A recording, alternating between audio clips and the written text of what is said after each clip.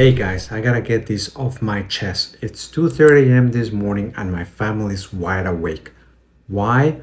Motorcycles tearing down the streets of Etobicoke like it's fast and furious. These bikes are so loud.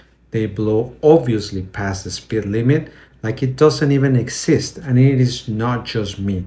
This morning when I brought it up with some of my colleagues, they can actually hear it too so these guys are ripping down the streets of Islington, Kipling, Burnhamthorpe, the West Mall, the East Mall.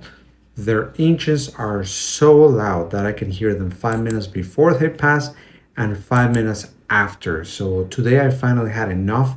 I called the 22nd Police Division which is literally 500 meters away from my place. And do you know what they said to me? Is like, Give us a call when you hear them, and then police officers will come and uh, investigate. Sure, at 2:30 in the morning, no problem. Or will let the officers know to patrol the area. Like you're not really patrolling. Like if I can hear it, they can hear it too. Like what is going on here? This is happening every night.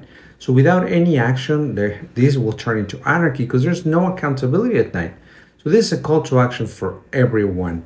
We need to protect our streets before things get even worse. So if you can hear it, don't ignore it. Call the 22nd Division at 416-808-2200 and report it. Thank you very much.